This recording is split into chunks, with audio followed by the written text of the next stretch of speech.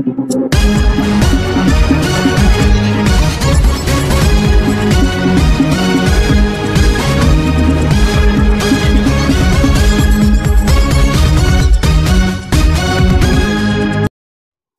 To beaten news. ప్రతిక్షణం ప్రజా సమస్యపై పోరాటం. నెల్లూరు జిల్లా కొవ్వూరు తెలుగుదేశం పార్టీ కార్యాలయంలో ఏర్పాటు చేసిన మీడియా సమావేశంలో తెలుగుదేశం పార్టీ నెల్లూరు పార్లమెంట్ ప్రధాన కార్యదర్శి చేచర్ల వెంకటేశ్వరరెడ్డి మాట్లాడుతూ ఇప్పటికైనా రాష్ట్ర ప్రభుత్వం రాష్ట్రంలో ఖాళీగా ఉన్న టీచర్ పోస్టులపై ఒక శ్వేతపత్రం ప్రకటించడంతో పాటు ఖాళీగా ఉన్న టీచర్ పోస్టులు భర్తీ చేయడం కోసం వెంటనే డిఎస్సీ నోటిఫికేషన్ విడుదల చేయాలని తెలుగుదేశం పార్టీ తరపున డిమాండ్ చేశారు. ఈ సమావేశంలో తెలుగుదేశం పార్టీ నాయకులు కలికి సత్యనారాయణ రెడ్డి ఇంటూరు విజయ్ పాల్గొన్నారు. రాష్ట్రంలో ఖాళీగా ఉన్న టీచర్ పోస్టులపై విద్యాశాఖ మంత్రి గారు చెప్పే పొంతన లేని ప్రకటనలు. మరోవైపు శాసన మండలిలో ఒక విధంగా చెప్తాడు. బయట పత్రికా విలేకరుల సమావేశంలో ఒక విధంగా చెప్తారు. కేంద్ర ప్రభుత్వం రాజ్యసభలో ఒక లెక్క చెబుతుంది. సర్వశిక్ష అభ్యాసం ఒక లెక్క చెబుతుంది. అసలు ఈ గందరగోళం ఎందుకు ఏర్పడిందో ఎవరికీ అర్థం కాని పరిస్థితి.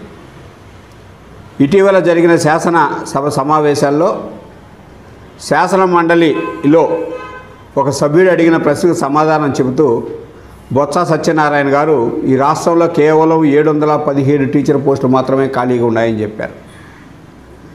అదే సందర్భంలో రాజ్యసభలో ఒక ప్రశ్న ఒక సభ్యుడు అడిగిన ప్రశ్నకి కేంద్ర మంత్రి సమాధానం చెబుతూ ఆంధ్రప్రదేశ్లో యాభై వేల ఆరు వందల అరవై ఏడు టీచర్ పోస్టులు ఖాళీగా ఉన్నాయని చెప్పారు. అంటే మొత్తం టీచర్ పోస్టులో పంతొమ్మిది పాయింట్ ఆరు నాలుగు శాతం పోస్టులు ఖాళీగా ఉన్నాయని కేంద్ర మంత్రి చెప్పారు. నిన్నటికి మొన్న సర్వశిక్ష అభియాన్ వాళ్ళు ఇచ్చినటువంటి ప్రకటనలో ఈ రాష్ట్రంలో నలభై ఐదు వేల మూడు వందల ముప్పై ఐదు టీచర్ పోస్టులు ఖాళీగా ఉన్నాయని చెప్పారు. దీంట్లో ఏ దేన్ని నమ్మాలి? విద్యాశాఖ మంత్రి గారు చే రాష్ట్ర విద్యాశాఖ మంత్రి గారు శాసనమండలిలో చెప్పిన దాన్ని నమ్మాలా? కేంద్ర మంత్రి రాజ్యసభలో చెప్పింది నమ్మాలా? లేదంటే సర్వశిక్ష అభియాన్ వాళ్ళు ఇచ్చినటువంటి ప్రకటన నమ్మాలా? దేన్ని నమ్మాలా కూడా ఎవరికీ అర్థం కాని పరిస్థితులు. ఎవరిని మభ్యపెట్టడానికి ఈరోజు ప్రభుత్వం ఈ విధంగా ప్రకటనలు చేస్తున్నా కూడా అర్థం కాని పరిస్థితి.